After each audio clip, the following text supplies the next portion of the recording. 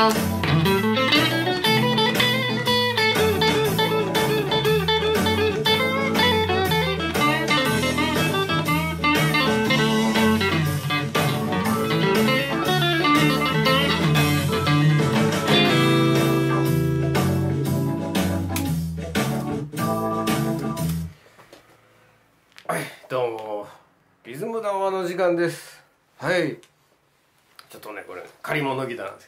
かなかいい感じですよね。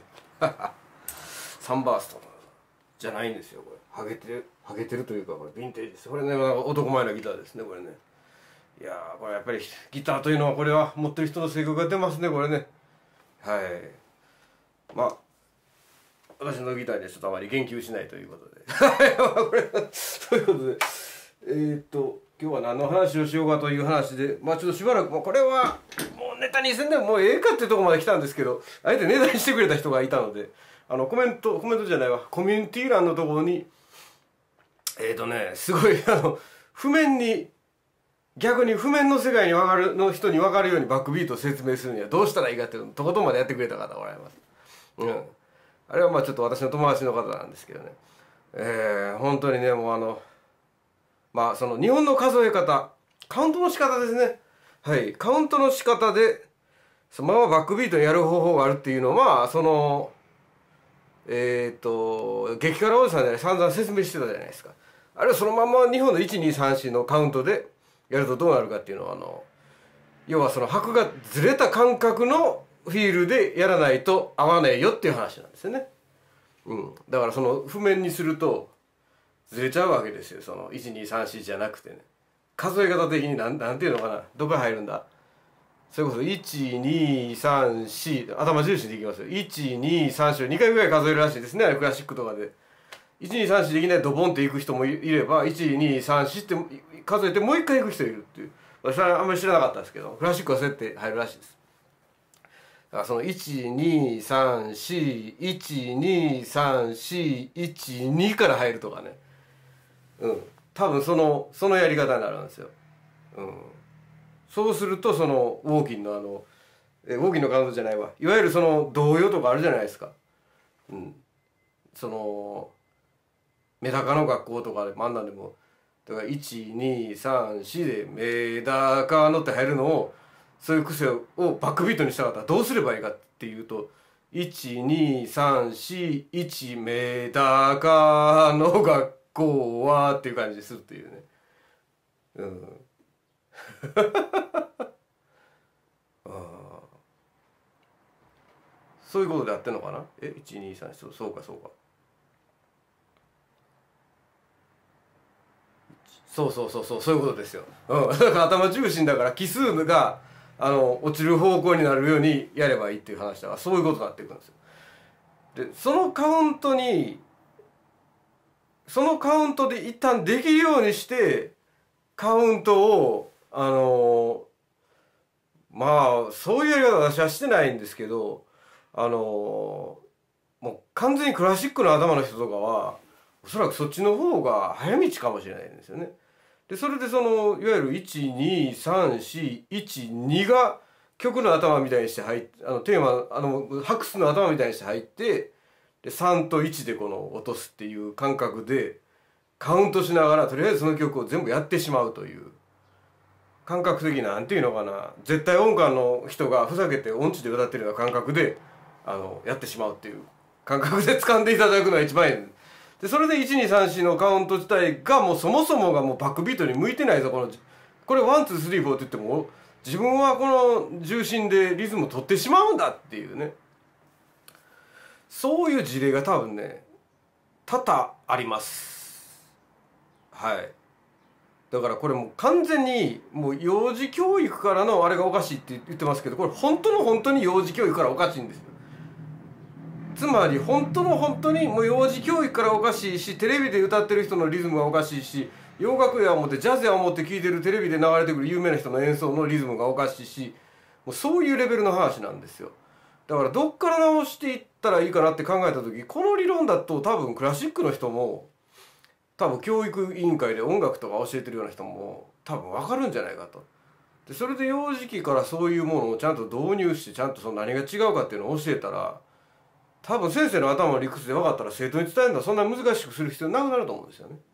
要は大人が分かってないから子供に間違って伝わってしまうってことなんですよ。はっきり分かるっていうことは大事なんですよね。うん。だから、 one, two, three, four って言っても、 one, two, three, four って数えて、まだ1から one, two, three, four ってなってる人が多いって話で。結局、うん one two three を唱えても1234で小池康子になってしまうっていうそれを防ぐにはどうしたらいいかっていうのの、まあ、一つの認識としてその私の友達の方があのあのコミュニティ欄でねあの動画紹介させてもらってるんですけどわざわざこの譜面書いてここだけこういうふうにずれた拍感でこういうリズムを取ってるんだよっていうのをやってもらってるんでちょっと見てください。あれ面白いです。はい。面白いけどあれあれでパッといける人が何人ぐらいいんやろうな。うん。まあでもクラシックの人とか多分理論的に分かると思いますね。うん。夕焼け小焼けで日が暮れてみたいな。あんなでも1234 1夕焼け小焼けで日が暮れてみたいな感じでもうややるしかない、うん、そういう入り方をしたらそのバックビートに入るってことですね、うん、うん、そういうことなんですよ。だからウォーキンの構造はそういうふうなことを実はそのそこまで計算して狙ってやったかどうかは別にしていわゆるバックビートにもう無理やりしてしまう方法の一つなんですよ。ウォーキンのやり方と。うん。うん、あの、えーと、ルース・ブラウンの曲とかね、うん、あの辺の、うん、あの辺の曲がそういうまあ言ってしまえばそこまでの理屈を考えずしてそういう人たちがあのやり方を見その時代にもすでに見出してたって話ですね。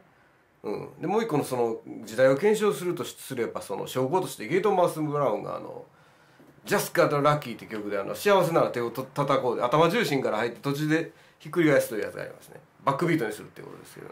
重心を変えずにしてね、うん、そういうテクニックなんですよ。要は。うん。そうそう。4拍目をあの頭重心の1拍目に見立てて入るというやり方なんでその日本のそのすっとこどっこいうんとこしょでやるとその ウォーキングが1拍目に入ってそのテーマで3拍目から入るっていう感じでもうそのまま温度温度調のもみ手でね、ニューオーリンの人でも大声もみ手で叩いて手拍子叩いてる人いましたけど重心がそこに落ちるっていうことができるという話。うん、だからあの譜面に書いて譜面からいしか入ってない人はぜひあの動画を見てそういう構造に日本の音楽はなってるのっていうことも同時に分かるいい参考になると思います。まああれはムカつくと思いますよ。あのジャズの人とかでなんちゃってのチンチキチンチキが正しいっつってその自分の生徒とかに勉曲勉強してこいとか言ってねもうなんか何曲覚えたかとか言ってやってた先生方はその もう泥沼に入られると思いますねこれはね。恐ろしいことですよ。ええー、みたいな。俺の今までの音楽人生やっていうようなことが起こるという話です、うん、起こりえます。こんなことはねもう506070のおじいちゃんになっても起こりえるんですよ、うん、だからその曲を覚えたとかテクニックがうんぬんっていうよりもそんなしょうもないところであの足元を救われるのかっていう話になってくるって話なんですけどね。これはまあ随分意地悪な話になるんですけどそれは起こりえます。はい。まあ今日の話はそんなに大してあないんですけどね。うん。あ、あとそのブルースの教則とかでこのギターを貸していただいた方があのね 素晴らしいですよこれ。塗装とかねものすごく美しい塗装で。うん。まあ今はもっとすごいのができるんだって、うん、これはもうこの時の俺は全然だって言ってはったんですけど私にはすごく美しい。で雲これ綺麗な塗装なんですよこれ。ちょっと緑がかってんのかな？まあ黄色か。でもすごくねいい塗装ですねこ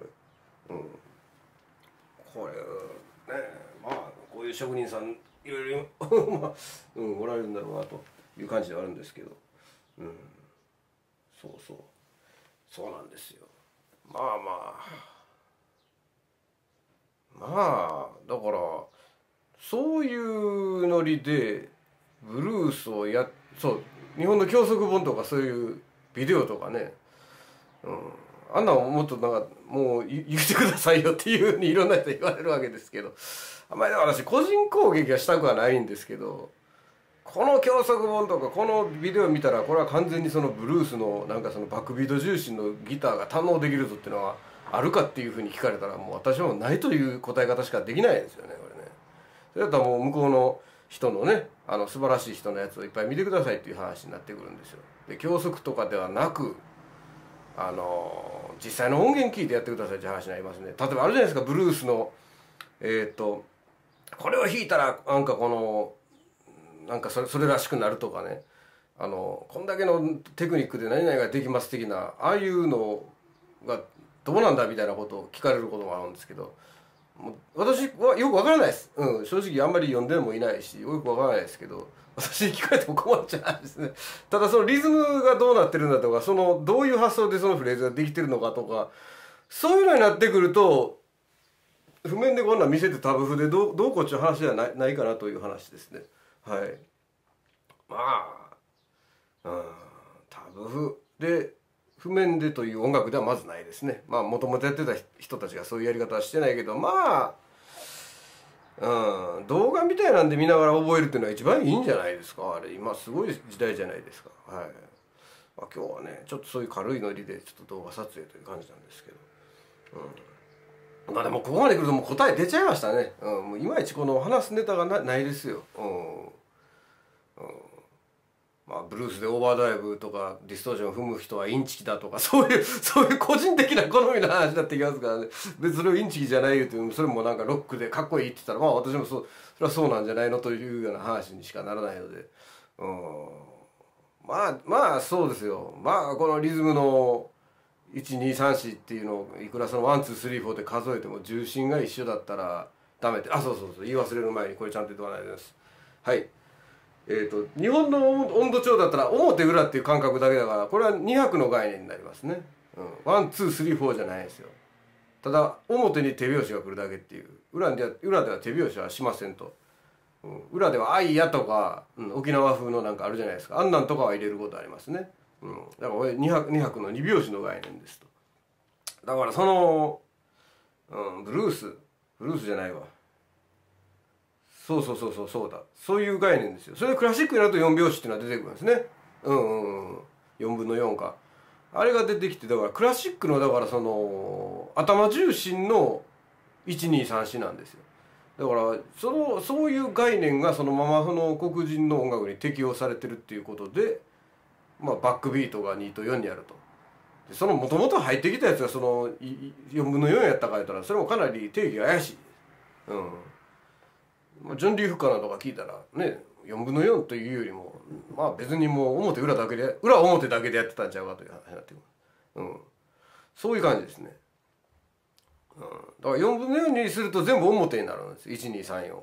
うん、でその間が裏ということになるからまあ非常にこれ効率的で便利なやり方でそれになったからブルースはどのこうになったんやとかそういうのはちょっとね原理主義すぎてちょっと私はそういうのはもうそういう意見はスルーさせてもらいます。はい。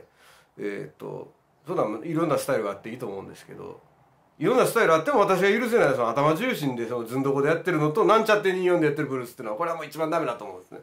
なんちゃって24は一番残念なのはやっぱりそのカウントですねカウントと頭その重心を落とすっていうことを恐れてるんですよ。そんなになんかバキバキにやったらあのダサくなるとか癖がつきすぎるとかねそういう発想でねなんちゃってなってるんですよね。つく前にこう手を離すみたいなね。あれをだから1234で数えるとしてとりあえず重心を落とすことから始めましょうっていう話ですねで結局みんな重心頭で落ちてるんですよ。あの学校教育のおかげで。だから学バックビートでこれど誰のために話してるんだってそれはやっぱ音楽のなんかプロとかそういうあのー、できる人だけに喋ってるのかっていうふうに思われることあるんですけどそういうことじゃないんですよ。要は最初のボタンの掛け違いって私何べもあのあのねここで言ってるわけですけど要は子供の時子供の時にちゃんと両方を習っておけばっていうか両方で遊ぶ練習。うん。だからウォーキングとかあんな遊ばせといたらいいんですよ。何が起こったって言って。あこっちでリズム取ってんのか。多分子供は頭柔らかいから多分23歳の時にそういう音楽をいろいろ聴かせてて5歳ぐらいの時に、うん、完全に使い分けができると思います。っていうかもうできてると思いますね。23歳の時にすでにね。だからそういう教育をしないとダメなんですよ。両方あるんだよっていう。うん、こっちで取る方法とこっちで取らない方法があるっていう。で大きな練習させるのが一つ。で二つ目？二つ目はカウントの仕方。だから頭重心のカウントの仕方っていうのは1234でドボンで入るか1234を2回繰り返すらしいんですね。うん。だから1234123はいこういうカウントって久しぶりに聞いたなった感じすっかり私このリズムダウンの時間で忘れてましたよ言われてみたらそういうカウントのし仕方しとったなみたいな音楽の先生とかねはい、みんな集まって、はい、はい、みんなで合唱するからね。はい、1、2、3、4、1、2、3、はいつってやってましたね。あの、着飾った、あの、化粧の濃いあの音楽の先生とかやってた記憶がありますわ。はい。まあね、だから、そのやり方で言うと頭で落ちちゃうんですよ、要は。うん。で、なんでその、 one, two, one, two, three, four なのかってところにまず疑問を持たないとなんですよね。なんでこのカウントの仕方をするかっていうのは1で一応数えて2で落とすんですよだから1 2 1 2 3 4っていきやすいでしょこれ逆だったらすごくやりにくいでしょだから日本人あんまりこのカウントの仕方しないしても変になる one two one two three そこまでやったらすごく頭重視になるんですよ。だからやっちゃいけいかんという感じになっちゃうんでしょ。だからみんな適当にしかカウントしないと。カウントの意味をわかそもそも分かってないと。カウントの意味は何かっていうのがもうここの今日のテーマですね。これ要は。1234のカウントをすると洋楽を本当はやろうと思ったらその1234123はいのあのやり方でいこうと思ったら123412で入らないといけないですよ。うん。2で入らないといけないですよ。うん。そうそう。これはクレイジーですよ。で1と3に重心を落とすって形になるから、うん、こうやったらもうあれですよ多分何も考えんで譜面を見て弾いてる人にその拍数のあのカウントだけ打っといたら多分クラシックの人やったら多分ジャズの人よりも早くバックビートマスターすると思いますね。うん、これすごいことに気が付いたなっていう話なんですけどそうやってもうクラシックの人にポップスのアメリカ風のポップスのやり方を教えてしまってでその日本のその既得権益のそのひっくり返ったそのそういう R&B とかあのジャズだとかやってる人たちをギャフンと言わせるっていうのは一つ手なんですよこれ要はね。またクラシックの人が上に立てるっていう。ものすごい意地悪なことを考えてますね。はい。でもそういうようなことしてあの認識をやっぱりね変えていかないとこれはどうしようもないでしょうね。うん、もうスノップなんですよ。要はスノップが仕切ってるからうまいこといかない、うん、頭のいいそういう感覚をしっかり持ってる人がやってくれてたら何の問題もないんですけどね。うん。ほんまに日本のそういうのはもうちょっとねがっかりしますね今の段階ででもまあここまでなんか言われてこのなんかあーってならない人は多分いないんじゃないですかね。これはもうそれでもこの前のやり方が正しいジャパンジャズやジャパンブルースやジャパン R&B やってジャパンロックやって多分無理だと思いますねクラシックのやつにこんなん言われたみたいな。そういう雰囲気が 多分あった方がこれから日本の音楽変わっていくかなとねだからあの譜面に書いてあのえっ、ー、とお子さんあったの。あれなかなかうん私が言ってたことはなんかまあパッとなんかこの頭のいいやり方でやってくれはったなと思ってちょっとね。あの私はちょっと楽観視してるんですよ。あまり最近そういう意味であのなんか言いたいこともちょっと減ってきたかもしれませんね。はい、うん。いやそういう話なんですよ。要はカウントの仕方がそもそも間違ってるからあの重心がひっくり返ったりとかあとそのはっきりリズム取るのを恐れてしまうからなんちゃって2 4になってしまうって話なんです。だからはなはっきりリズム取って頭重心になったらそこからの道は近いという話ですね。これが重心かと。こっから入らないといけないのかって。その構造が多分あれで理解できるんじゃないかな、うん、ウォーキンのねなんちゃっておじさんのね、うん、だからなんちゃっておじさんはただうん。そうそう。譜面にするとそういうことになるって話ですね。うん。そうそうそう。まあ今日はそんなとこですかね。うん。それではまあまあご清聴ありがとうございました。それでは失礼いたします。